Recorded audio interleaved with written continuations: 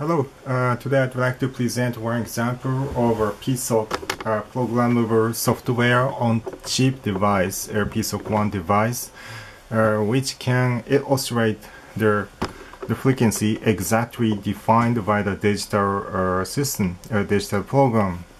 Actually, this is just a duplication of uh, some application which is described in this uh, Japanese book. And here is an oscillator uh, which is full digital. There is no inductor, no capacitor, and everything, the sine wave, and, and the waveform is defined by the program.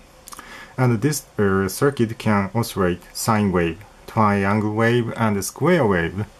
Now I will uh, let you hear. There's this is a result of sine wave.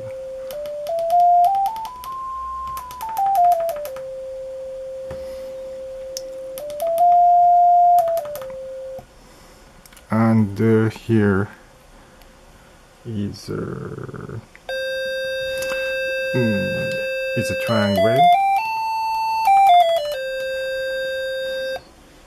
And the last is uh, maybe this is a triangle wave and the previous one was a square wave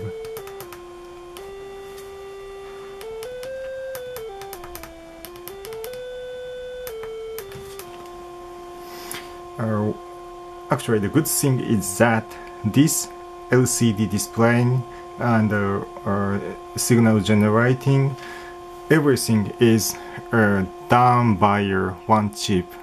A PSoC and it's a mixed circuit between the digital and uh, analog.